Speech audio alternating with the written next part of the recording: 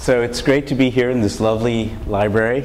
Uh, I'm John Krystal, and uh, I'm the chair of the Department of Psychiatry, Yale, and I'm also head of a research center at, at the VA in West Haven, which is called the Clinical Neuroscience Division of the VA's National Center for Post-Traumatic Stress Disorder. And um, right, I have to turn on my button here, don't I? Uh, that one's on? Do I have? I thought this one has a button on it though. There we go. Am I suddenly louder and clear? Okay, good, good. The magic of telecommunication.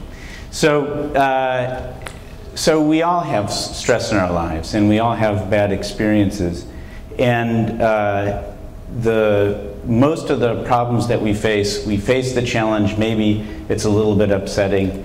We think about it for a few days, and then it kind of passes out of our mind. But there are some really terrible experiences that people have uh, that stick with them in ways.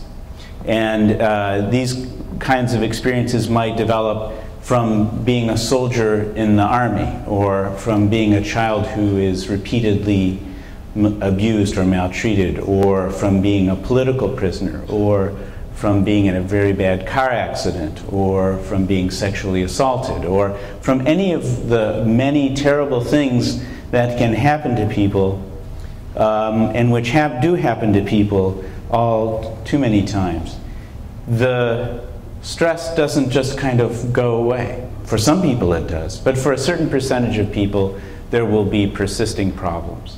And uh, what people have found over the years from very careful research is that people tend to, those problems that develop tend to follow certain kinds of patterns. And it's those kinds of patterns of response that we refer to as post traumatic stress disorder. People generally lump the symptoms of PTSD or post traumatic stress disorder in three general categories. Re experiencing, which is the tendency once you've been in a, a, a, bad situation to be react in very extreme ways when you're exposed to reminders of the, of the trauma. And to have thoughts or actions related to the trauma intrude upon your consciousness in the form of daydreams intrusive thoughts or memories nightmares. Um, and in children in particular uh, the trauma can be re-experienced in the form of play so people, the uh, children who've been traumatized will tend to play games about the traumatic experience they had over and over again. Um, another part about the symptoms of post-traumatic stress disorder is a tendency to have very high levels of arousal. So a person who is generally feeling okay may see a reminder, say if they were in a very bad car accident, may see a car that looks like the car that hit them or that they were driving in when they were injured, and then their heart may start to pound, they may start to sweat, they may be, uh, uh, maybe respond with a big startle response if they hear a loud noise, and generally may find that they are having difficulty sleeping uh, and may be more irritable. And the irritability part of that, this reactivity, this intolerance for frustration or conflict, is, uh, can be a big problem, particularly for people uh, like soldiers who are trained to respond aggressively in, in, in situations.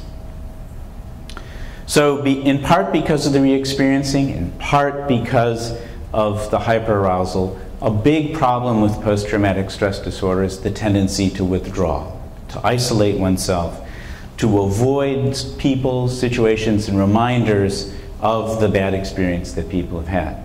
So, for example, uh, uh, people will stop watching TV, they won't read the newspapers. That's not so bad. They may uh, withdraw from their social, from their friends. They may not go to the places where they think they might be reminded of the, of the bad things that happened to them. And so, what happens is that for some people with post traumatic stress disorder, is that their life becomes more and more and more constricted.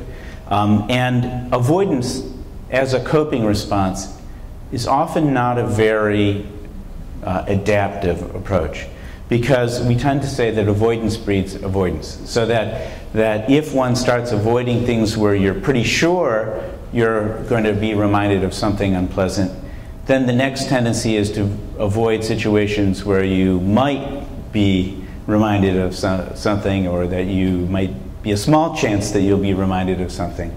Also, um, uh, the avoidance often goes along with this hyperreactivity to the to the stress. So that you can think of the traumatic reminders either becoming more and more and more upsetting or less and less and less upsetting. So the more you avoid them, the more afraid you are, the less you expose yourself, the less you desensitize to these reminders, the more and more potent these um, reminders become as, um, as upsetting and, uh, uh, and uh, troubling. Another part, and by the way, stop me if you have any questions. If I say something that's not making sense or um, uh, uh, confusing, please, please stop me and I'll try to, try to uh, answer your question.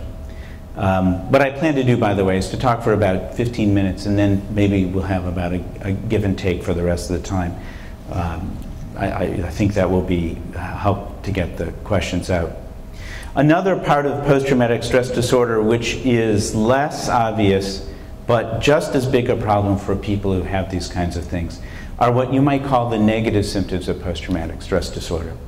So, for example, people who've had very bad experiences and often um, have lost loved ones or people they know or friends um, may find that they uh, don't enjoy anything, that, they that their emotions are very blunted, that they feel emotionally numb or that they're machine like or they're kind of going through their day uh, they can do what they need to do, but they're not really uh, emotionally engaged in what they're doing. And that kind of numbing is very troubling uh, for people.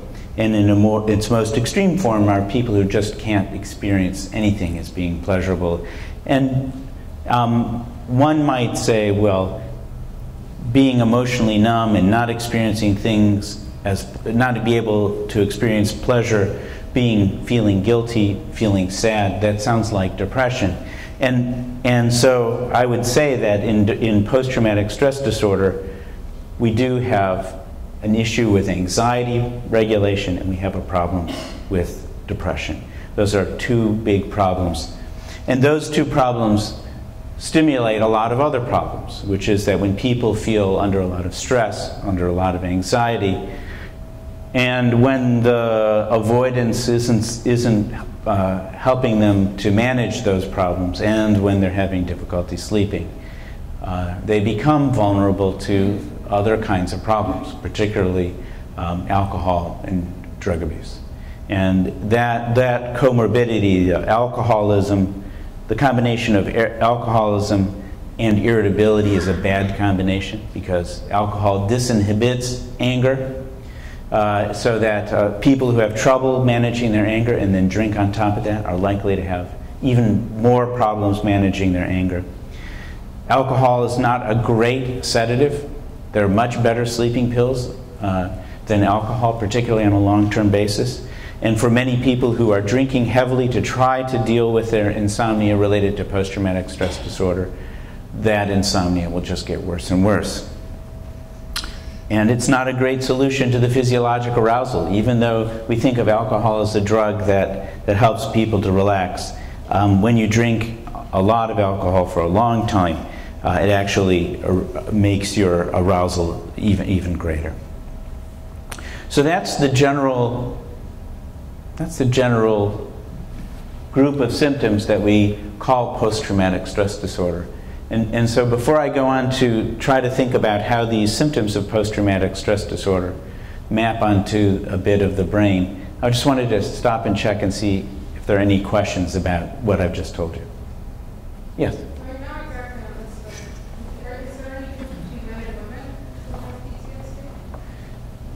So the question is whether there are any differences in men and women with PTSD. Um, in general, these are the general categories that both men and women uh, uh, uh will uh, have, symptoms that people have. But there are certain problems that I think we see more commonly with women, and some problems we have more commonly with men. One of the, one of the big problems that, uh, that you get, one of the, one, unfortunately, one of the sources of PTSD in women is sexual assault and um, often intimate partner violence. And so, one of the problems you get in, in post traumatic stress disorder when there's intimate partner violence is the, is the fact that the traumatizer, the perpetrator, is often the very person the victim is looking to, for, toward for support. So uh, that's one kind. So so that is one kind of often very big problem uh, uh, for uh, women who have been um, sexually or physically assaulted. Another part is that whenever somebody is traumatized by somebody that they know, uh, the problems around trust that develop after that don't just extend to the one person who assaulted them. That person may have problems trusting anybody. You see this with children who've been traumatized as well. It's not just in the context of, a, of an intimate relationship, but um, the problems of being able to trust people, to relax and be comfortable with people, is a kind of social complication that we see post traumatic stress, stress disorder very commonly um, in women who are traumatized because of this, of this context. Um, the arousal symptoms in soldiers, because of the, of the very strong cues that go along with combat loud noises, shouts, yells, being in the jungle, tall grass, you know, there are often very, various settings of combat that are powerful cues for the re-experiencing symptoms of PTSD. So, for example, it would be very common for somebody uh, who, uh, people that I've treated who served in Vietnam in, in the jungle, when they would walk by a freshly mowed lawn, the smell of that intense green sort of garden smell would be enough to trigger intrusive reminders or hot sunny day or uh, and there, you know so so that different even though the even though different contexts sort of shape and color the symptoms of PTSD in different ways still the overall pattern of these kinds of symptoms is pretty sim- similar no, pretty much no matter what the source of the trauma is okay yeah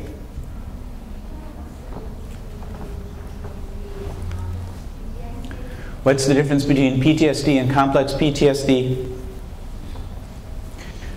Well, I'm going to tell you a silly answer and then I'll, I'll tell you the real answer. The, the, the, the, the, the, silly answer is that complex PTSD is a little more complex than regular PTSD. So, complex PTSD is a term that some people have developed to describe people whose, whose traumas are of many different kinds at many different periods of their life. You know, people have been traumatized as children, traumatized as adults, who have these full array of symptoms that I've described, often some additional ones that, that, I didn't go into in detail, so that when you, uh, uh, what can happen is when you try to work on one part of the trauma, that the other part of the trauma gets activated and then, then they withdraw from treatment and vice versa. So, so it's, it's, it's still PTSD, it's still, in my view, basically the same disorder, but my view about PTSD is that it's a spectrum. So that PTSD can, can, can uh, extend all the way from people who are basically just fine, but just notice that, that they're a little anxious about going to bed because they have nightmares you know, sometimes people call things like that partial PTSD or just some symptoms of PTSD, all the way down to the extreme of complex PTSD, which can be very challenging to cope with if you have it and, and complicated to treat if you're trying to work with someone. Okay, so the brain. So this is a drawing of the brain, and what I'm going to do is just talk about some of the brain circuits that people think as being implicated in post traumatic stress disorder. Okay. One of the very important regions of the brain implicated in post traumatic stress disorder is this area in red, which is called the amygdala. Does anyone know what amygdala means? Almond. It's the Greek word for almond. And it's a, it, it doesn't really look like an almond. Uh, it looks like a little red thing in my drawing. Um, but the amygdala, yes. Yes, of course. Let's see if we can, if we can, no, not a problem. I don't know if this is going to help. Okay, good. All right. So the amygdala um, is kind of a command center for alarm in the brain. Um, it, it is, becomes very activated if something frightening is in the environment. Um, and when, you, uh, when the amygdala is activated, you tend to learn to connect things that are going on. So, for example, if you associate a place, so if you walked, if you walked down the street in Branford today and you uh, uh, were surprised by a, an angry Doberman pinscher, the place, the connection of the place and the Doberman, that connection, learning that connection and the and the and connecting that as a, a, a, a dangerous place that, that would be very much involved this area, the amygdala. There are a few people who uh, have a, a, neurologic disease which damages their amygdala, and uh, so that they, they, they lost both of their amygdalae, one on each side of their brain. And they just don't learn to be afraid. And what happens is they get into a lot of trouble and they, they don't learn to avoid things. They say upsetting things to people that it doesn't bother them. The amygdala is a very adaptive organ. We need fear, and without the amygdala, we really can't learn what places are dangerous and, and presumably also what, what areas are safe what we see in post-traumatic stress disorder, and I'm going to show you some data from brain imaging scans not too long, um, where what we see in post-traumatic stress disorder is that when people are exposed to reminders of their trauma, the amygdala is hyperactive. And what that means in terms of the treatment of post-traumatic stress disorder in general is that we are interested in medications that dampen down the activity of the amygdala, and we're interested in teaching the amygdala, if you will, can't teach an area of the brain, but, but sort of to teach people to dampen down the activity of their amygdala. So one of the big ways that we teach people to dampen down the activity of the amygdala is actually to teach them for example, let's say, take the example of the person who walked down the street in Branford was frightened by the Doberman. They would have the expectation that every time they go there, the Doberman's going to be there, even though it just happened to be that one day where the Doberman was there, and that actually it's quite, quite safe to go there. So one way to, to teach the amygdala not to be hyperactive is to go back to that place and to learn over and over that that it's safe. We call that new learning process extinction. Okay? That's all. You've heard, probably heard that conditioning is just the way we describe learning the association between the place and the Doberman.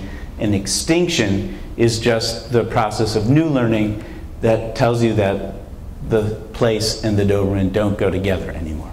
Okay? So if I use those terms, conditioning or extinction, that's really all I'm talking about. Any questions about that? Yes.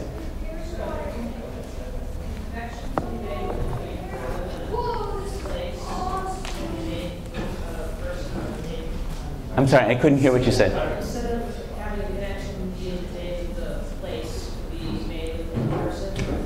Yes. So the connection, the connection, the question is, can the connection be made to a place, in, instead of a place, can it be with a person or a thing? And in fact, that's an excellent intuitive question because the amygdala is actually particularly good at connecting specific things, like a specific dog and a specific building.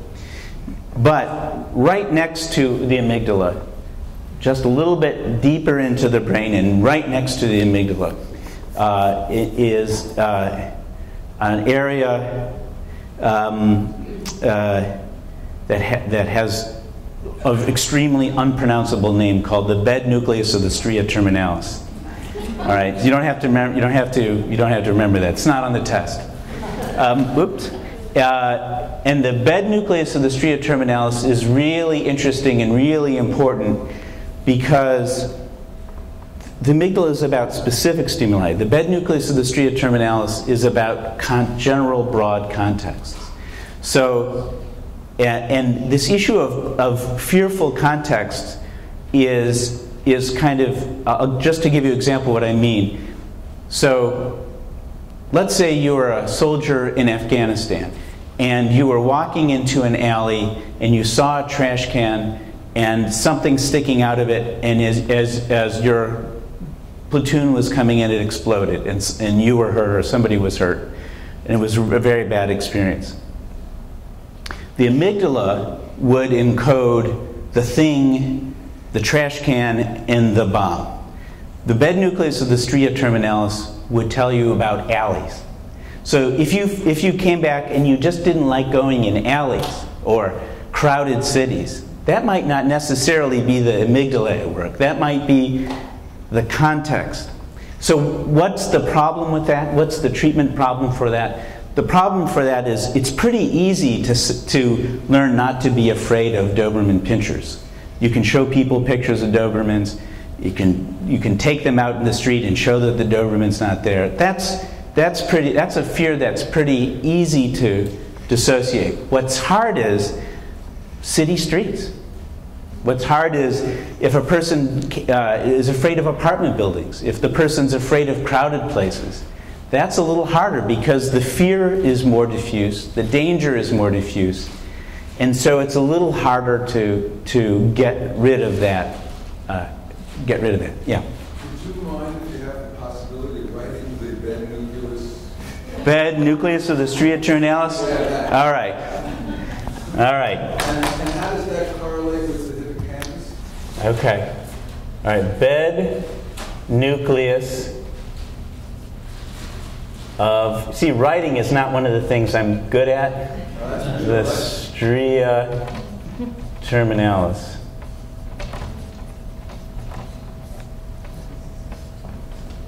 Bed nucleus of the stria terminalis. Okay, so the, you've mentioned the amygdala, and I'm going to come. I'm going to talk about the amygdala in just a little bit. So I'm going to come back to that. But this is the bed nucleus of the stria terminalis. Uh, and uh, and I, I wish they had a better name for it, like Ralph. That would be, would be a much better name for it. Is it abbreviated to BNST or something? Yeah, yeah. Sometimes people call, because, the, because there are a number of structures like the bed nucleus, stria terminalis, terminalis around the amygdala, um, people have sometimes call it the extended amygdala and include it in that. Okay? Another area that's implicated in post-traumatic stress, two areas implicated in post-traumatic stress disorder, a little foreshadowing, the hippocampus and the dorsolateral prefrontal cortex. So uh, the dorsolateral prefrontal cortex is a part of the brain involved in what we call executive cognitive functions, control of attention, planning, representing information in memory, um, uh, and organizing behavior. What's interesting about the prefrontal cortex and its relation to the hippocampus, and I'm going to come back to this at the, at later in this brief presentation and talk about this in more detail, is that when it comes to anxiety, the prefrontal cortex and the amygdala are working against each other. Think about it you, you may have heard that, um, that if, you, if someone says something that gets you really angry, that you need to count to 10. Right? You've, have, have everybody heard, heard that? Well, what do you do when you count to 10? Your prefrontal cortex goes, let's see, one, two, three. You're representing the numbers in your brain, you're thinking about the numbers. What that does is engage your prefrontal cortex in activity and it shuts down the amygdala. Okay? So, what, when we think about coping with stress, what we're thinking about is who's winning the battle. is the prefrontal cortex staying online and suppressing the activity of the amygdala so that you can stay focused and cope with the stress? Or is the amygdala winning the battle, um, becoming hyperactive and shutting down the prefrontal cortex? Well, what happens? Anyone want to guess what happens when your prefrontal cortex gets shut down? Yeah. Uh, if you're in an argument, you could probably start yelling. Right. It getting it escalates to higher than it should be. Exactly. In other words, if your prefrontal cortex gets shut down, you start doing things that you'll later regret. That's one. Another thing that happens is you, you're not thinking through the problems clearly. So let's say, let's say now you're not in an argument, but let's say you're, um, you're in danger. You're walking down the street, you see somebody coming, they're, they're threatening, and you're trying to think about, well, what, what should I do? What should I, what should I do? Well, to answer that question, that's a question that usually calls on your prefrontal cortex. But if your amygdala is all charged up and you can't think too clearly, you may not do the thing which in retrospect would make the most sense, like going in the opposite direction. Yes? How does adrenaline play into this? We're going to come into adrenaline in just a little bit. Yeah. And would that be the frozen response in, in a fear Right. Fight, flight, freeze? So one of, one of the things that can happen is that people will freeze. Um, and uh, they won't be able to think clearly about what to do. They may dissociate. Um, and all of these would tend to be symptoms that we would associate with uh, impaired function of the prefrontal cortex. Yes? Yes. When does that go into place? Okay. I'm- going to come to come to adrenaline and noradrenaline in a little bit. Yeah. Is there any sort of uh, preference of like what it's, you know, when um, either one works in certain situation? So like some kind of, like how does that? Right. So the question about who's going to win the battle between the prefrontal cortex and the amygdala is really a complicated one. It depends on, on, on a lot of factors. But see, one of the things that happens in po- post-traumatic stress disorder is that the cues, the stimuli, the reminders associated with the trauma become extremely able to activate the amygdala. So that the amygdala gets engaged in a more powerful way, in a more immediate way, and it gives it a huge advantage over the prefrontal cortex. So, one of the problems that people with PTSD have is not only that they're very highly aroused when they see these problems, but the kind of ability to take a step back and look at what they're experiencing in the moment becomes compromised because the amygdala is so jazzed up at, at this time. Let me just say a few words about the, about the hippocampus. So I told you the amygdala was an almond. The hippocampus is another great word. Anybody know what the hippocampus is in Greek? Force field? I, I'm, I can't hear it.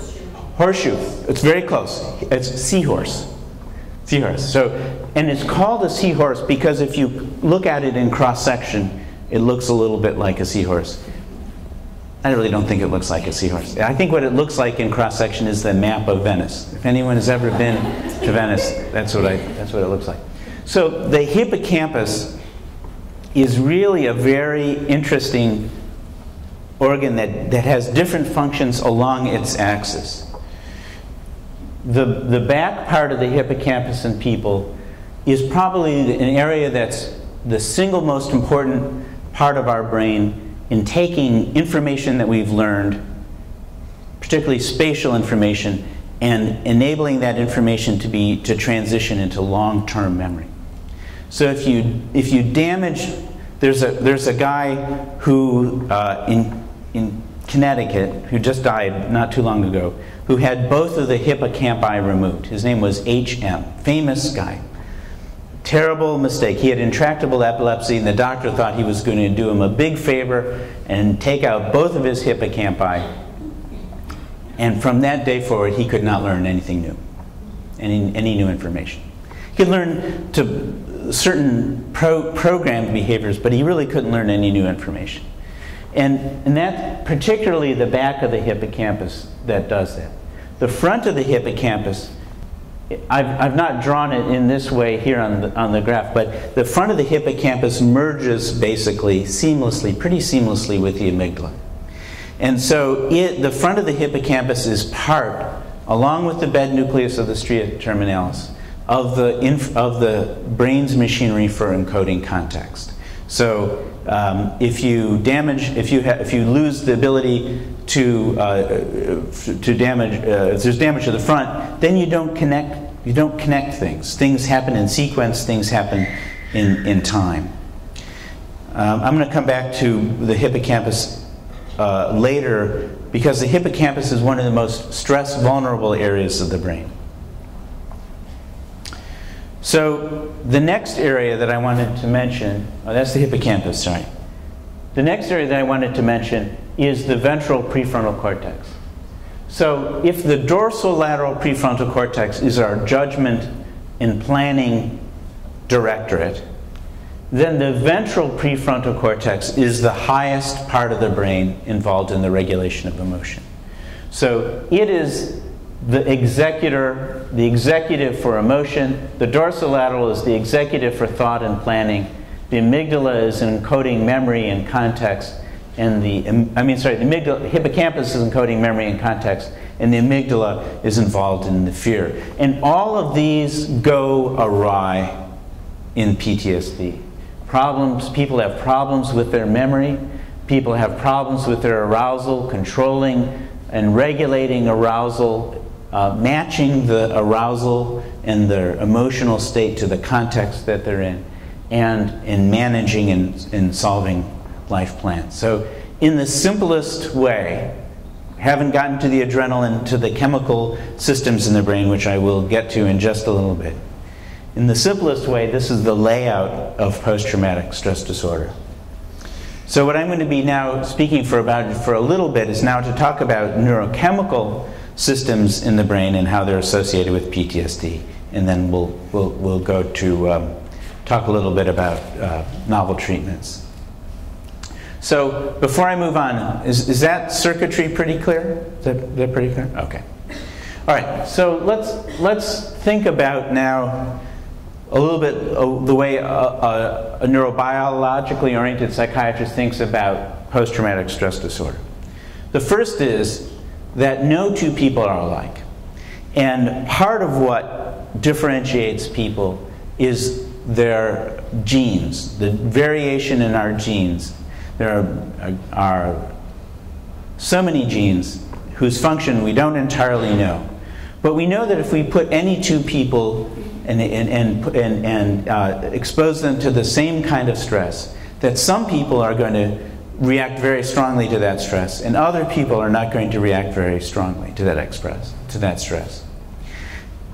Another part of, of the determinants about how people react to stress has to do with their prior experiences. So we know, for example, is that, that people who have been maltreated as children, traumatized as children, will be more likely to develop post-traumatic stress disorder when exposed to the uh, uh, you know, subsequent major life stresses. It's not to say that all stress is bad. In fact, when we look, uh, when some of my colleagues have looked at special forces soldiers, there's a certain amount of stress that's really quite adaptive. Some people use the term stress inoculation or toughening. The idea that, that if people don't face challenges throughout their life, that they're not going to be in a position to cope with other new challenges when they reach adulthood. So, a certain amount of challenge, a certain amount of, of life stress is really, we need to kind of learn and hone our adaptive skills. But, so we have genotype related factors, genetic factors, prior life experiences that come together um, to shape our patterns of stress response. And then there's the extreme stress.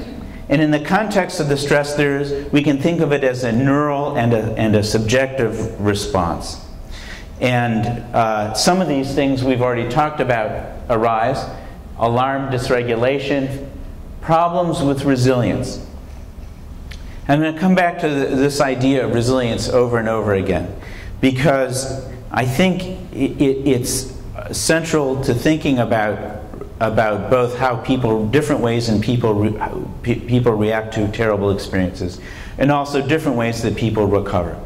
When I say about the different ways that people react to terrible experiences, I mean that, that oftentimes we think of resilience, uh, uh, uh, the people who, are, who don't seem to react a lot to stress, those are the resilient people. When in fact, I'm going to show you in a little bit some data that shows that people who are quite resilient actually can react um, quite uh, in, uh, to a large extent to stress. But what they're very good at, their, their bodies and their, and their minds are good at, are fitting the reaction to the context. So that when it's dangerous, they're aroused. When it's safe, they can turn it off.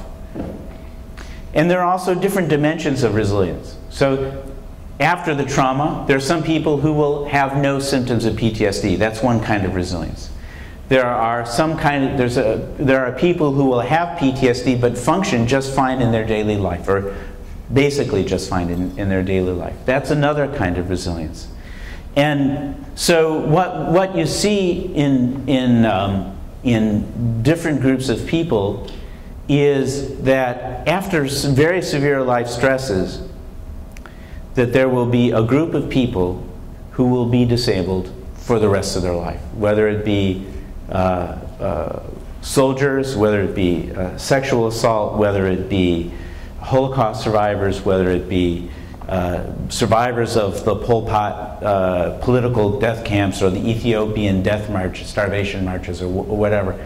Some people come through those experiences and they will um, just be devastated and really uh, not be able to cope with much later in life. But other people, even though they may have some symptoms of post traumatic stress disorder, will be actually quite functional and may draw on, on, on those experiences and find them as sources of, of, uh, that provide meaning in their lives and that actually energize and, and in some way lead to, to newer, uh, um, new uh, kind of achievements in their life.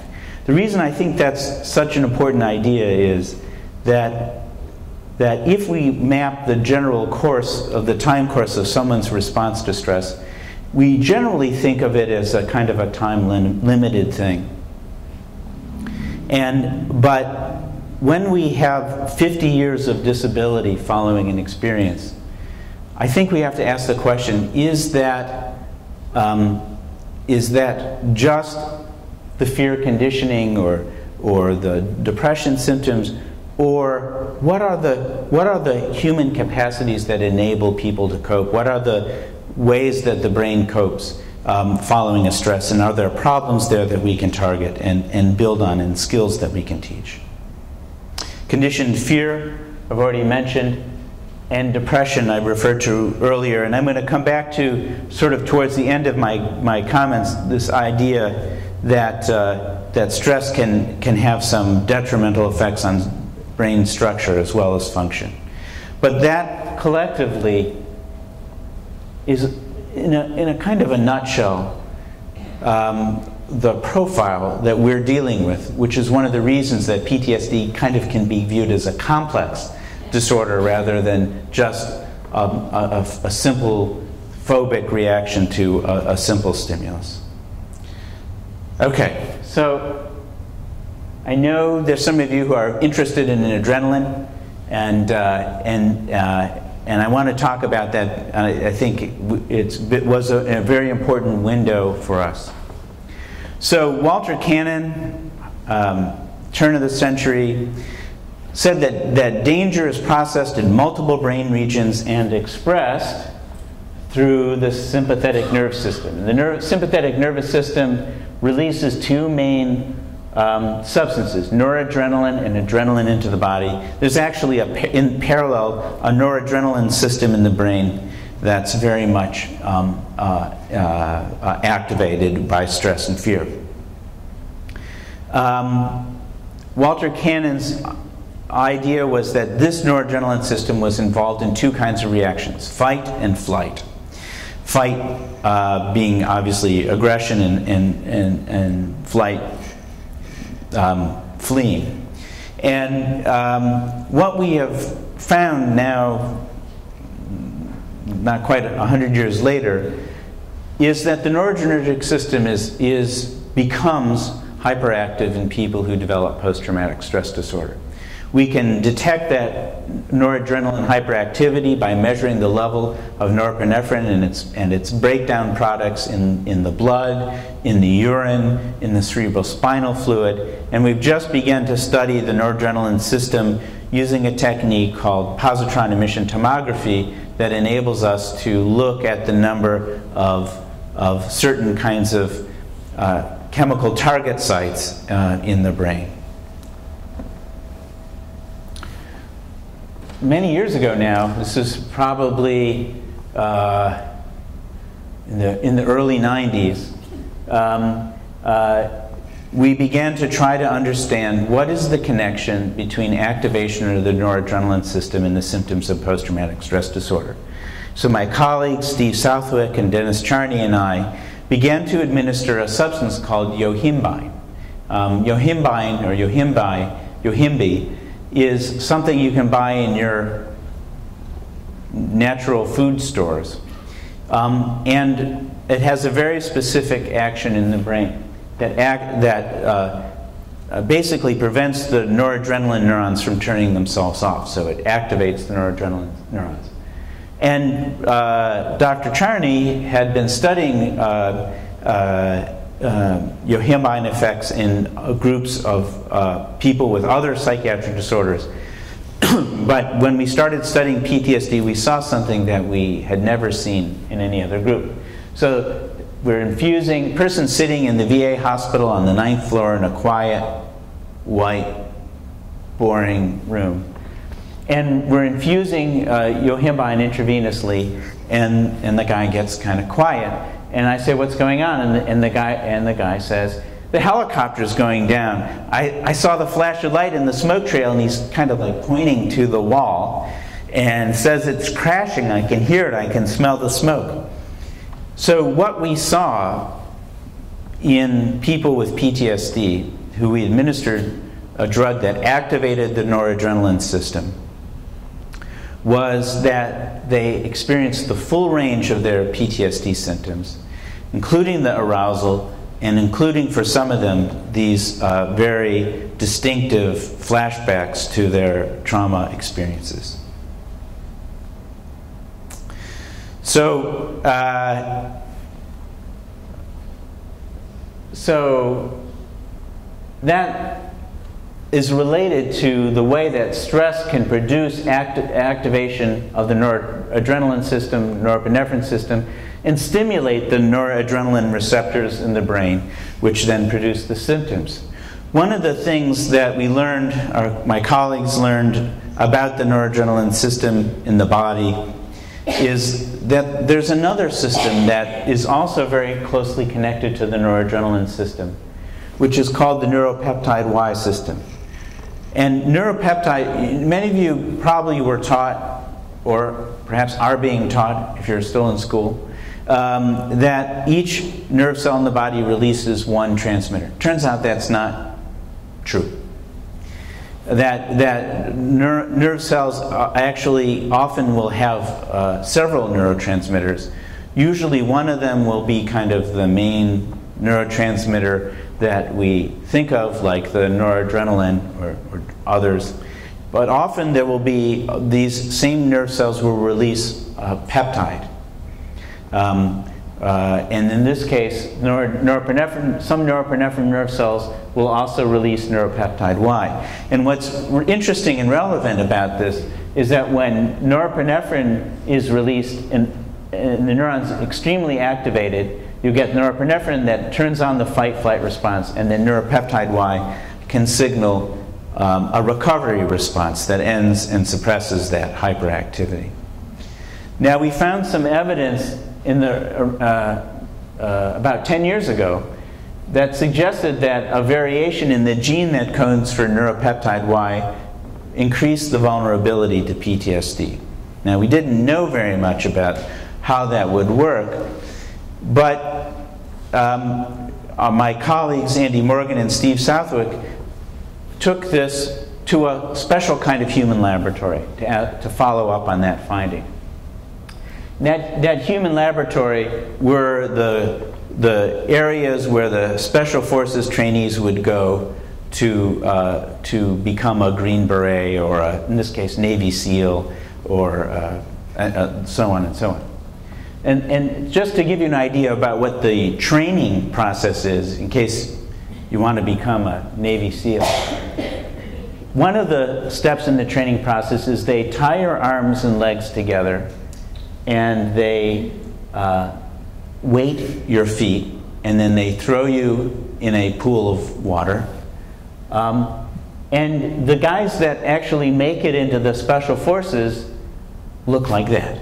Like, yeah, do, do, do, you know, it's not so bad. And I would look like that. you know, it's like, what are you doing?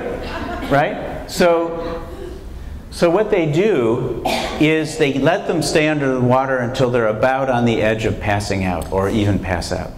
And then they bring them out of the water, if necessary, you know, resuscitate them. And, and then they say, you know, you, you know, that was pretty bad. You really don't want to, you don't want to be a special Navy SEAL guy, do you? You want to be, why don't you, you know, we, there are other things you do. You don't have to do that. And then they have to say, thank you, sir. I want to do it again. And then they put them back in the pool and they do it again and they do that a couple of times, you know, and, and I'm not sure what they learned from it, but, um, but they do differentiate people who are able, right? Here, amygdala is winning. Here, the prefrontal cortex is winning. So, so what, do, what, did, what have we learned? What have, what have we learned from studying these people? Well, this gets to the point that I was telling you about before. Here's what the levels uh, in uh, the special forces in red. Here are these other soldiers that, for whatever unfortunate reason, found themselves in the uh, special forces training program.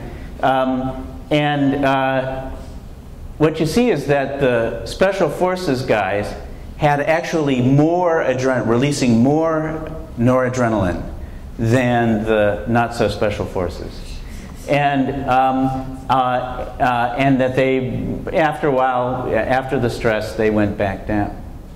Um, but what you also saw was that the resilient soldiers actually released more also of the neuropeptide Y that turns off the stress response and kept that, those levels up even in, in the recovery period. So what differentiated the, the, uh, the resilient and the non-resilient soldiers wasn't, not, not, wasn't the fact that their bodies were low reacting to the stress.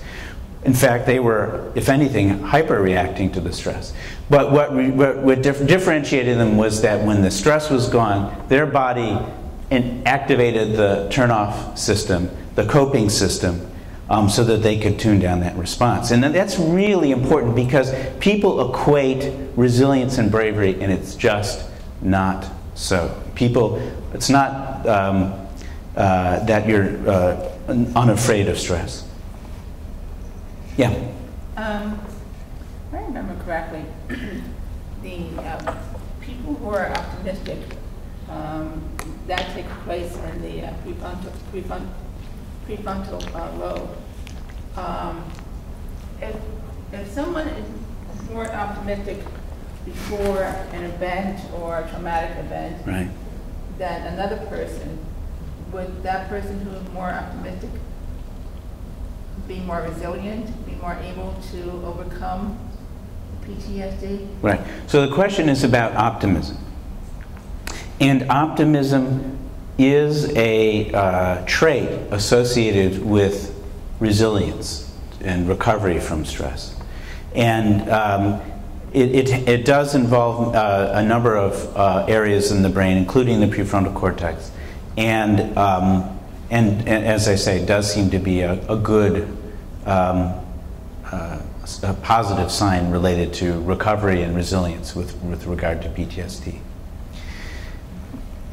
Um, just to, just for the sake of time, I just wanted to point out that when we look at the level of neuropeptide Y in people with PTSD compared to, compared to uh, I'm sorry, in, yeah, people with PTSD compared to healthy subjects, what you see is that the level of neuropeptide Y is low. That's the green line compared to the healthy su- subjects in black. And even when we try to activate neuropeptide Y release with the yohimbine, you get it's still low in the P, in the PTSD people compared to the to the to the um, to the uh, healthy subjects. So so what have I showed you? I've shown you that people with, uh, let me just go ahead. What I've shown you is that, that releasing norepinephrine is, or adrenaline is really an important part of the stress response. Just like I said before, that we need the amygdala in order to avoid getting, getting eaten by the Doberman Pinscher. We need the noradrenaline system to, to arouse us and to keep us focused at the times that we need to be aroused and focused. And our resilient soldiers are. Um, but if you can't activate, if you can't shut down, shut down that arousal, if you can't activate these other systems that help us to recover from stress, then that is a factor that compromises our capacity for resilience.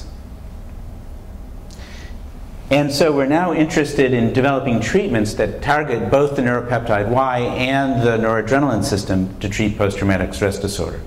So, right now, there's a large multi center clinical trial testing a drug called prazosin, which blocks one of the noradrenaline receptors to see if toning down the noradrenaline system can help symptoms of post traumatic stress disorder. And at a very experimental level, there's some very interesting new data about administration of neuropeptide Y in animal models as a possible uh, uh, resilience enhancing treatment.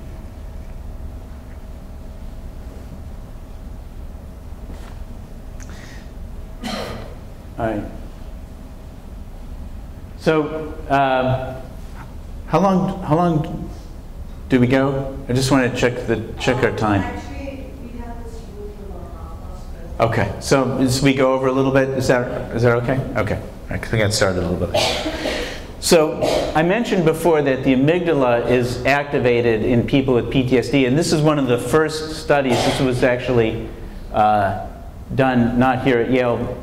It was done at a uh, institution in Cambridge, um, and uh, the uh, but but it makes the point. So they showed people movies uh, related to their uh, their traumatic experiences, and that PET, on PET scans activated the amygdala. We had very similar uh, studies done here at Yale. But I, what I want to show you is, in terms of the body's physiology, a story that mirrors very much what I, we were talking about with, with, um, with arousal, which is an example of what I mean when I say that it's not the arousal, but the match of the arousal in the context that's really important for coping and resilience. And this is a study that, um, that we conducted here at, at Yale, um, where we just uh, paired a white light with no shock or a yellow light with shock. So white light, no shock, white light, no shock, white light, no shock, white light, no shock. You can see the level of arousal in soldiers before they're deployed. They learn safety, low arousal. Yellow shock, yellow light shock, yellow light shock, yellow light shock, um, and there they become more aroused. So help, before they go to before they go into battle, they, their bodies can really differentiate safety and danger. Then we had a group that had been um, in Iraq or Af- Afghanistan and come back and did not have post traumatic stress disorder. And in the testing situation, you can see that they are already a little hyper aroused uh, uh, when they come into the lab um, after their uh, uh tour, tour duty. But yellow light shock, yellow light shock, yellow light shock, they stay aroused. White light, no shock, white light, no shock, white light, no shock. They can turn it off. When they, when they are, can tell they're in a safe place and they're not going to get shocked, um, uh, you can see they, they, uh, that they can really turn it off. Here's, here are a group of people that were in Iraq uh, and Afghanistan, but they did develop PTSD. And you see that um, their level of arousal isn't that different at rest from, from this group over here, uh, and that they have a similar kind of arousal when they're uh, undergoing the fear conditioning. But look what happens to their, to their uh, uh, safety signals over time. There's a, an initial drop, but across the trials, rather than going down like everybody else, their arousal is actually going up, up, up, up, as, they, as if they're expecting danger, that they're not learning the white light is a safety cue, even though they're not getting shocked. And uh, so this, um, this problem around learning safety cues and the problem about an inability to match their level of arousal to the kind of information they're getting about the environment is one of the one of the big problems you have around being able to relax and to be resilient after developing symptoms of post-traumatic stress disorder. Um, and uh, why why is it that they're doing this? Well, some of our data suggests that it's because that even though they're learning they're learning that the uh, white light is predicting no shock, that they're mistrustful of the testing situation.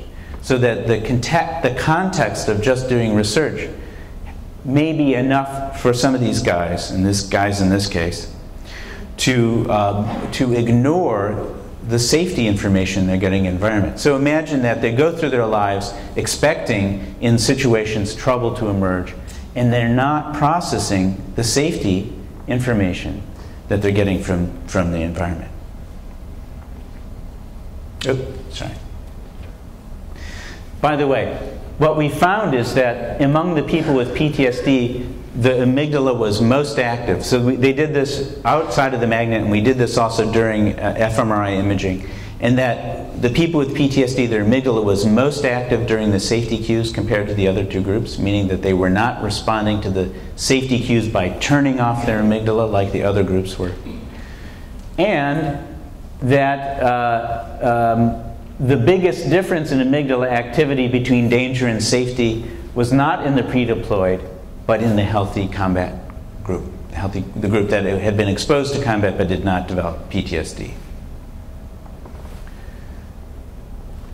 So this, this gets to some of the treatment implications about how responses to broad contexts of stress rather than specific information from the environment can interfere with coping and can interfere, with our ability to use traditional psychotherapy approaches to treat some of the symptoms of PTSD.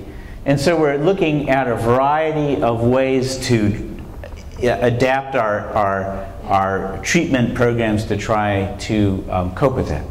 Some of these are more elaborate uh, cognitive processing techniques where we ask people to imagine themselves in a variety of complex uh, contexts and, and, and address their reactions in those contexts. That kind of therapy is called cognitive processing therapy. And we are doing that at the VA.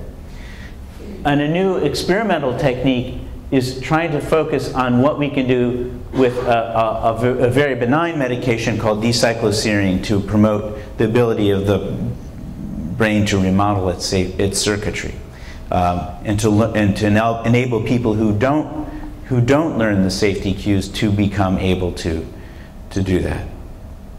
I'm just going to finish on, on, on kind of one of the most novel, maybe a little bit scary, but, but also exciting areas. I'm just going to skip ahead. Let's see it, which, which has to do with, with uh, an, a concept called neurogenesis, which is the idea that under stress, well, under uh, stress that we may disrupt certain processes where we make, in, in the adult brain in our lives, new nerve cells. In other words, the, the idea that we're, by the time you're 20, you have your, all the nerve cells in your brain is about probably about 94% true. That there's some areas of the brain, like the hippocampus, that continue to make nerve cells throughout adulthood, as far as we can, can tell. But that process of making new nerve cells seems to be able to be disrupted by stress. And one of the substance, one of the processes in the, in the body that helps to promote that, I'm just going to jump ahead, um, is a substance called brain-derived neurotrophic factor. Okay? And uh, so there are growth factors that, that promote this kind of neurogenesis process. Um, and there's sort of an interesting story about, about this brain-derived neurotrophic factor and resilience to stress. And I'm going to kind of condense a longer story in, in just one figure to make a point. Which is, um, you may know that one of the that there is one medication approved for the treatment of post-traumatic stress disorder, and that is serotonin uptake inhibiting antidepressant medications. There are two drugs from that class approved for the treatment of post-traumatic stress disorder. One of them is called Zoloft or sertraline, and the other one is called Paxil or paroxetine. Now, it happens that both of these drugs act on the single protein in the brain that's called the serotonin transporter or 5-HTT. Well, that's the 5-HT, that serotonin transporter. It turns out that there's a variation, there's a variant of this serotonin transporter gene. It's called the short promoter variant of that gene, which is less functional. And so it's a little bit like having a little bit of Prozac in your brain throughout your life. Now, in, instead of making you more resilient, that, that, that makes you actually a little bit more stress reactive. And um, so, uh, what I'm showing you here are the additive effects of different kinds of risk factors on the vulnerability to depression in maltreated children. So, in this group of, this is a study led by Joan Kaufman at Yale. And so that among children who had been abused in her sample, the rate of, of I mean, the, the score on their depression scale for the people who had been ab abused overall and her sample was about 17 or 18, which is clinically depressed but not severely depressed. If they had the less functional version of the gene that codes for the serotonin transporter, then the likelihood that they were uh, more severely depressed increased. And if they had compromise in, or compromise, a less functional variant of the gene that codes for BDNF, then they were even a little bit more uh, uh, uh, vulnerable to getting depressed. But what you see is that all of these uh, genetic risk factors were, although very important, could be uh, substantially uh, uh, uh, suppressed by, or the, these risk factors could be mitigated by high levels of social support. So if you took away the social support and you had these risk factors, then these children tended to have very, very high, very, very severe forms of depression. The point is that what I'm showing you is evidence that these same systems that are targeted by our treatments, that are involved in neural resilience, the, the creation of these new nerve cells and even some connections in the brain. So that, that while these things may have, may uh, under uh, all circumstances have relatively small effects, in people who are in relatively unsupportive environments, the uh, impact the compromise of the resilience is greatly enhanced. So one of the stories is that if we could figure out who among our group of maltreated children, wards of our Department of Children and Families, had these kinds of risk genes, then we could figure out which kids needed to be particularly targeted with enriched support. The kids that don't have these risk factors, and in fact who have resilience versions of these genes, may do well, and we all know of cases of kids who came through the most horrific experiences that one could imagine and still did just fine. But we're trying to understand the profile that, that, um, that renders these children most vulnerable, and clearly the risk, that that risk pattern in the end will include not only these genetic things, but also psychosocial interventions that, that where we can intervene. We can't necessarily intervene to change their gene. So why do we think this is so important from the level of perspective of brain structure? As I mentioned, the BDNF is very important in the brain for maintaining uh, connections um, between nerve cells, and the connections is how the brain works. If you have an impoverishment of the connections in the brain, then, then the ability of these brain circuits to perform all of the functions that we talked about can become compromised.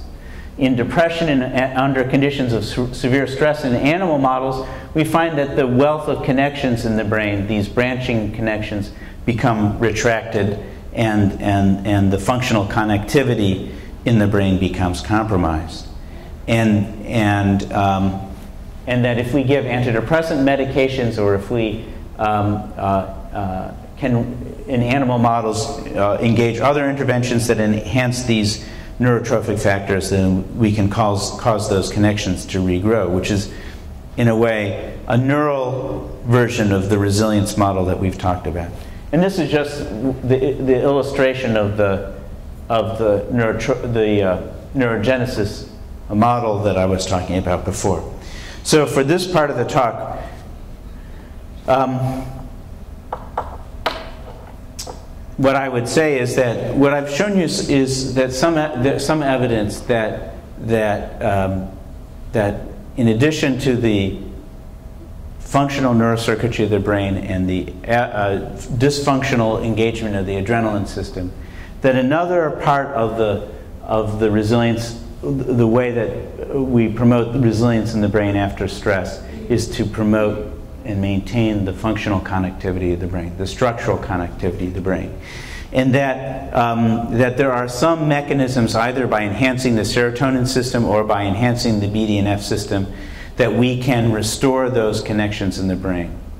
What I didn't mention is that one of the ways that we know that this story is relevant to PTSD is that there's a generation of MRI scans that suggest that in some areas of the brain, if you do an MRI in people who have PTSD, you'll find that either the white matter pathways or the volumes of certain regions of the brain are reduced, consistent with the idea of the retraction of the of, of some of these um, connectivity patterns. And there's even some preliminary evidence that with extended treatment that we can, we can have some restoration of those volumes. So um, in summary, what I've shown you is the idea that PTSD emerges from multiple neuro kinds of neural responses to stress and maintained by dysregulation, by the conditioning and extinction processes that we talked about, and by neural atrophy.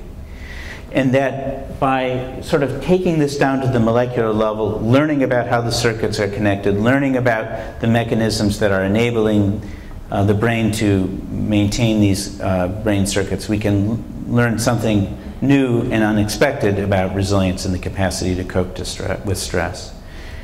This approach is leading us to some new and some unexpected kinds of treatments for PTSD, like the neuropeptide Y, like the, some of the adrenaline blockers, and, and, uh, and, and hopefully someday towards the idea that we can really understand an individual's pattern of stress response, like those vulnerable kids, who we can target interventions just what they need um, to improve the effectiveness of our treatments. So uh, that's really the story I was going to tell today. It's uh, in large part from the, my colleagues and collaborators in the VA's National Center for Post-Traumatic Stress Disorder, with one shout out to Harvard, and uh, other than that, uh, mostly Yale stuff. And, uh, um, and thank you. It's been, been a lot of fun.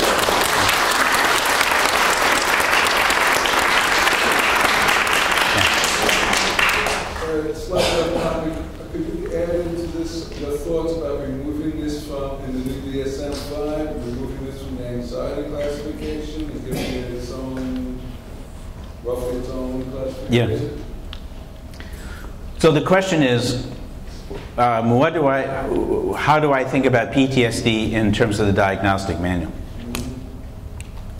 I'm probably not the right person to ask this because I think that the diagnostic manual is wrong. and we know that all of our diagnoses are provisional, and uh, I think that, that the DSM-4 uh, was a work in process. I think the DSM-5 is a work in process, and I don't take it very seriously. Um, I mean, I take, I take the, the problems that we're trying to treat very seriously. But I think that our, our, the depth of our knowledge about how these diagno- diagnoses are really organized and connected, I, I, I think DSM-4 is, is no more wrong or right than DSM-5 is because it's a bunch of people who are, have good intentions but really don't have the information they need to redo our system in a way that's going to be, make more sense. thought- Thoughtful of or concerned about the message to the public as a, as a removal from the anxiety classification and giving it its own uh, processing classification and, and what that means to, the- to the clients, the folk who are being treated uh, or suffering. Yeah. Because I don't put mu- that much weight, uh, this this is not where my energy is going. Like, what I, what I really want to know is, at the molecular level, is post-traumatic stress disorder, where, where are the, where, where, where does it fit in? We know it's an anxiety disorder, we know it's a depression disorder, we know it's a dissociative disorder, we know it's a disturbance in, in, in sort of neuroplasticity about what you learn and how you learn and, and, and how you do things. So, uh, in a way, I think the, the question that you're, that you're asking is, what, on, by what information, by what criteria should we classify these disorders, right? And Particularly in this disorder, it's my understanding that it's often considered helpful to share with the, the, the client, the patient, the person, what exactly is going on and help them actually Right. the understanding of the neurobiology Right. So again, to try to think about it as a way of taking it from the bench to the office. Right. So, so again, in, in my personal clinical practice, the way I handle DSM-5 is, is like if I'm if I'm explaining a diagnosis to someone, I mainly use diagnosis in terms as a it, it, with my patients to help to validate their experiences. So, um, if they tell me that they have anxiety, I'll validate that that from what we know about uh, people who have had these kinds of experiences, the fact that they can't sleep at night, that they have nightmares, and that they're uh, struggling with guilt makes perfect sense and fits right in with the diagnosis of post-traumatic stress disorder. So I'm, I'm not I'm not so much trying to tell them that because they have a diagnosis, they have these symptoms and, the, and it's in that category, it's in that category, that the category means anything. I'm inclined to tell them, you know, these categories don't mean that much. What really counts is what your individual experience is, and then that's what we're going to be focused on. So th- just my whole, I'm just not the right, I just don't, that's not where I'm thinking. Yeah. Uh, soldiers who have PTSD, they also have head injuries sometimes, they're complicated. I'm, I'm really glad you asked that because I didn't have I didn't have time to really to go into it today. So, but um, the uh, the question is, what about people who have traumatic brain injury, and uh, which is a, a problem, particularly in the soldiers. So the place where that question really applies is right at, right at the beginning of what we were talking about. So one of the areas that people who get a lot of TBI from frontal injuries like that, one of the areas that, that they get uh, uh, uh, little, tiny, tiny, tiny little strokes or neural injuries are in this ventral prefrontal cortex, the emotion regulation area. Um, there, there are other areas uh, that, that uh, uh, can get damaged as well um, around uh, temporal lobe and also auditory acoustic areas that, that affect their balance and their dizziness and, and ataxia. But the, but the fact that they sometimes will get little injuries in this area that's involved in controlling and managing emotion means that some people may have even higher, higher emotional reactivity and, and uh, difficulty keeping their, uh, their impulses under good control worse than what they would have had just by the PTSD because the trauma is, is, is making it that much harder to, to control their experience. Yeah. Yes. Uh, uh, yeah. Yes, both elevated. Is it afterwards that uh, would make some that journal that would make some soul? Because for both it doesn't really do. Right. So the question is, does the time course of the noradrenaline and the neuropeptide Y elevation, is that really important um, as well as just the fact that it was higher? And I would say that's a great question and we need to study it more because that's the first study to show that hyperactivity of the neuropeptide Y. But my guess is that the people who are prone to have more neuropeptide Y release are always under every stress prone to release relatively more or under a lot of stresses so that their their system even when they're gearing up for the stress is probably you know and just beginning to get into it is already helping them to kind of not get too overwhelmed. But your, your question is really important because what we'd like to do and what we're going to what we're trying to experiment experimentally do is to see now down the road when a person has post-traumatic stress disorder if we raise the neuropeptide y levels can we help the, the resilience kind of fall into place. And that's we'll just have to see. I don't know i don't know the answer to that question. That's a great question. Yeah. I have a couple questions. yeah. Um, you didn't mention seizures, but seizures like would be an extreme case, this, that this, um, unchecked eventually could go to seizures, especially with the, the head traumas. right. So yeah. So so what's the connection between head traumas and seizures the And con- PTSD. and PTSD. So the connection between seizures and PTSD is not that great, except that some people with seizure disorders will have bad experiences in the context of their seizures or about around their seizures that, that can be like PTSD. But let me just say about the TBI seizure connection, which is that the way that people get seizures with TBI is that they, um, they get a little injury in a part of the brain. In that, in that area where you have a little injury, it can be hard to regulate wha- another chemical messenger in the brain called glutamate.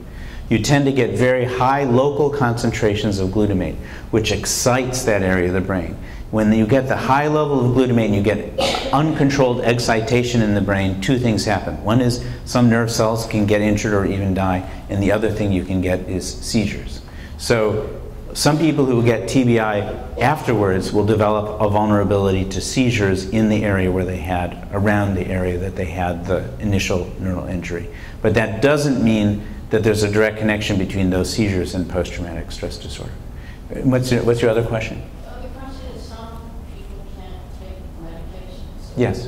Uh, is there research in using other techniques, like say, I don't know, I was thinking, like say Tai Chi, because it's a Yep. It's supposed to be meditative, Mhm. you know, relaxing, but also because it's a martial art, it cultivates um, confidence. Yeah. So it might be, a- not everyone can handle. Right.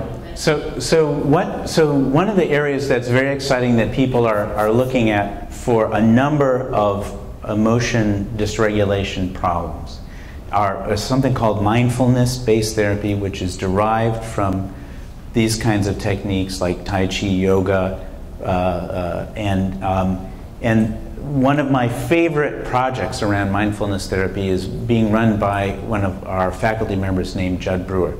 And what he's doing is he's teaching people to use mindfulness therapy to, he's using functional brain imaging like biofeedback. So they see printed out on the computer the activity of this particular circuit in the brain. And then they learn with mindfulness brain therapy to turn that, that hyperactivity off. And so they can see, you know, I don't know what they do, something mindful, uh, and they can turn that part of the activity off. And you can, they can even watch their brain activity change, which I think is kind of a cool idea. So that's one of the things going on. Yeah.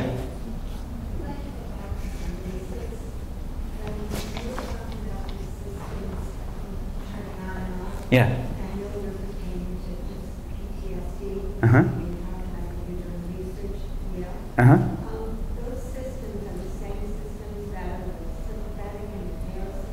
So the adrenaline system is the sympathetic system, and and people think of the adrenal the sympathetic system as being in the body, but there are certain control centers in the brain involved in that, uh, including um, uh, uh, the, in some areas in the hypothalamus and in, and in some of the areas in the brainstem that are dysautonomia.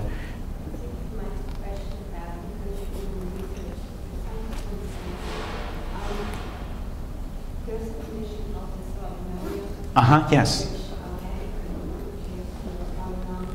Right. Basically, is the Yes, yeah, absolutely. Yeah, sure.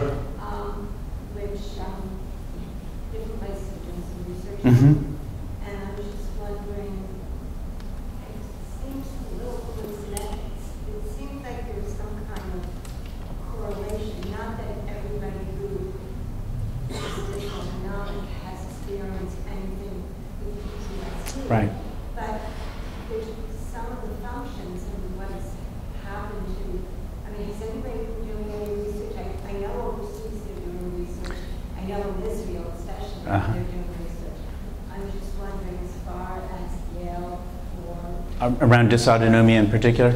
Um, It's the same thing. yeah. turning on and off. I, I don't I don't know the answer to that question. I don't know the answer to that question. Rupa might know, right next to you. She doesn't know.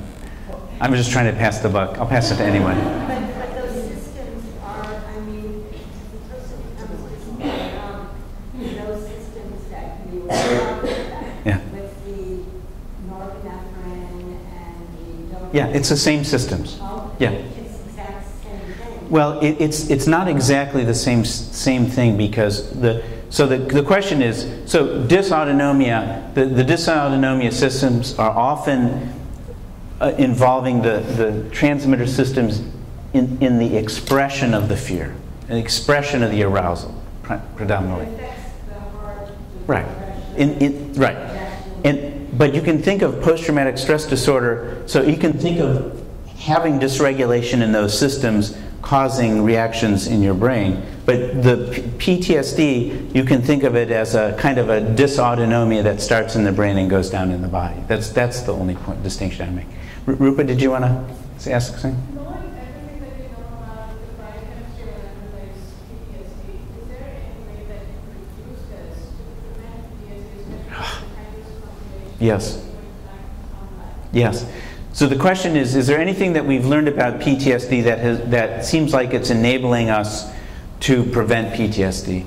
And so the first thing that people tried to do was to give, because the stimulation of the beta adrenergic receptors seemed to drive the consolidation of uh, fear learning, that they could give a beta blocker right at the time of the trauma and, and see if they could block that. So far, that hasn't worked um, which is unfortunate. Um, what, what has worked completely by accident, it's one of these accidental things which is, which is interesting and, and not well quite understood yet, is they've, they've done, there are a series of studies that have been done in burn victims, bad burn victims, really hurts. They get a lot of opiates. It turns out that getting a lot of opiates in the peri post traumatic stress period does seem to reduce the likelihood of having uh, subsequent post traumatic stress disorder. We, we haven't teased that apart because no one has said, well, let's just take people who are upset and give them a lot of opiates, you know. And so, so you know we don't have we don't have that kind of control where people don't have some kind of physical pain that's being mitigated by the opiates. But we need we kind of need that answer because there's also data that, that, that you know I didn't talk about um, that sh- shows that uh, the opiate system gets dysregulated in the brain with post-traumatic stress disorder. They've done some opiate receptor brain uh, brain imaging studies along those lines. Yeah. We just take one more question because we have to wrap up this. Last question. Two que- last two questions. 1.5 questions. Coming to the real, real world application. Yeah. One, babies no fear, so things like that. Mhm. What age does amygdala? Yeah. So uh, we have a faculty member in our department, Hilary Blumberg, who's asking this very question. The amygdala matures fairly, uh, reaches, I think, full, its full size. I know it's before the age of 10. It's something like in the 6 to 10 range. Right, but it's pretty, it's pretty functional by about that age. Um, uh, what I think, so there's two things about kids. One is that their circuitry is coming online. Another thing is their judgment isn't the greatest. So, like, so uh, things that you would anticipate being dangerous because you're projecting yourself through future and imagining all possible outcomes, they're not doing. So they're not afraid because they're not imagining the bad thing that's going to happen when they do the next thing. So it's not necessarily that the fear circuitry isn't engaged by them. It may be more their their abstract reasoning and problem solving. Their judgment is is impaired. Um, and the third thing is they haven't had the learning, right? So kids who fall and hurt themselves and badly, you can see their fear systems work pretty well. Try to get them to do whatever they did when they hurt themselves, not so easy. So experience, development, and and these other sort of the, the higher cortical areas are, are affecting the kind of different way that kids react to situations that would probably scare you or I. And a second, um, how long does it take to be diagnosed? Right. So, right. So, you, so right now you can't diagnose PTSD unless a person's had symptoms for at least a month. Okay. Yeah. Um, uh, it turns out that th- that the reality is that most of the people that get diagnosed with acute stress disorder, which is what it's called, if less than a month, um, a number of them will go on to develop PTSD. But this, you know, the, the, the thing about PTSD is that it's, it's, it's not like a light switch that stays on all the time for a lot of people. It, it has its bad times and it has its better times and it has its flare ups. It's kind of like arthritis or something like that, where, you know, where you have this really bad period, but you kind of get it under control for a lot of people, and then and then something happens. Maybe uh, they get sick, or maybe they retire, or maybe they, they have some new life stress or something like that. And, and even though they're, they kind of got it under control, it kind of flares up again. That, that's a very kind of typical course for post traumatic stress disorder, anniversaries, those kinds of things. Yeah. All right, well, thanks, folks. It was a pleasure.